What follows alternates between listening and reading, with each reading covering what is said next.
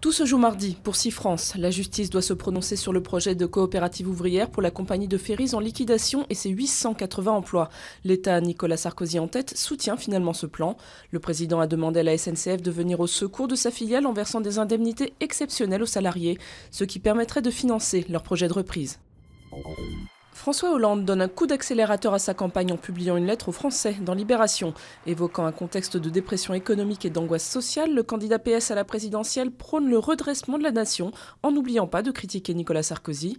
Réponse cinglante de la majorité, cette lettre, c'est du vent. De la scène à la scène politique. À 52 ans, le chanteur sénégalais Youssou N'Dour se déclare candidat à la présidentielle de février. Personnage multicarte, il dirige un mouvement citoyen créé à l'origine justement pour soutenir un prétendant à la présidence. Face à lui, le sortant, Abdoulaye Wade, 85 ans, qui brigue un troisième mandat. Des milliers d'opposants avaient manifesté en décembre contre son investiture. Des dizaines de milliers de Hongrois dans les rues de Budapest lundi soir pour protester contre l'entrée en vigueur le 1er janvier de la constitution voulue par le Premier ministre conservateur Viktor Orban. Ce texte, aux accents très nationalistes, a suscité des critiques notamment de l'Union européenne, de plusieurs ONG et du FMI. Un FMI que Viktor Orban a pourtant dû appeler au secours avec une demande de crédit pour contrer la chute de la devise hongroise face à l'euro.